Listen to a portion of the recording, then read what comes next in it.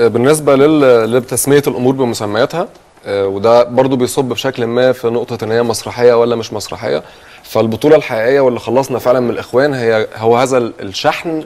اللي خلى الناس بتعمل مظاهرات في البنزينه مم. اللي خلى اسامي مشهوره جدا والمفروض ان هي هتعيش كتير جدا انا عن نفسي لما اخلف هربي ولادي ان هم يبقوا فاهمين وحافظين الاسامي دي كويس زي جيكا وكريستي والحسين ابو ضيف ومن قبلهم الشيخ عماد عفت ومينا دانيال دول اللي خلصونا من القهر ودول اللي خلصونا من التبعيه لان يبقى في قائد واحد كل هو اللي انت بتقوله ده انا موافق عليه ايه حلو. بقى ليه مسرحيه ما على فكره اللي انت, اللي انت بتقوله ده على فكره صباحي بيقولوا والسيسي بيقولوا ما اختلفناش لولا ان الشعب ولازم نقول ما كناش يعني اقصد اقول لك احنا مش مختلفين في وجهه النظر دي ولا مع الاسراء بتقولوا على فكره تمام نحن نعلم تماما ان احنا لو ما نزلناش ما كانش الجيش عمل حاجه ولا كان يقدر يعمل حاجه حلو